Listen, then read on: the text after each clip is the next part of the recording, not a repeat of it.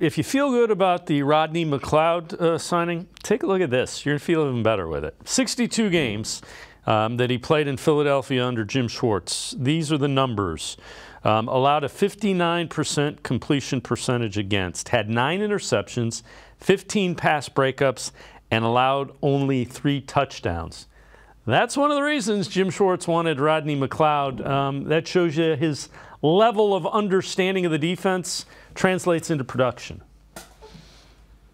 Yeah, absolutely. And again, that's just a stats from his time with Jim Schwartz. Not even to mention what he did last year with the Colts. I mean, he still posted an 80 grade this year, which was very good. His coverage grade was an 85.3. I mean, run defense 66.8. But I mean, when you're getting older like that, sometimes, I mean, that's bound to take a little bit of a dip. But he's still a productive football player. And the fact that you barely paid anything to add him to this roster it's a huge addition for the Browns because again, you're not only bringing in someone familiar with Jim Schwartz and the system he runs, you're bringing in a guy who has that Super Bowl winning experience and that mentality to know what it takes to get to that next level. And I think that's very important because he's going to be a voice in the locker room, even though it's only a one year contract and he could be gone after this year.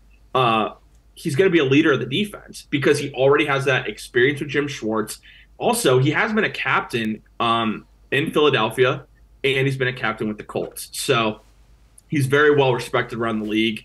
Great addition for the Browns for Jim Schwartz, and I can't wait to see how many times Jim Schwartz likes to put these guys all three on the field together at the same time uh, this season with Rodney McLeod, Grant Delpit, and Juan Thornhill because you have one, you have a lot of talent in that secondary, but you have so many guys that are versatile and can play slot corner, free safety, strong safety those three can play all of those positions. So Jim Schwartz is going to have all the flexibility in the world. And when you bring in a guy that's familiar with what he runs, it's very helpful for sure.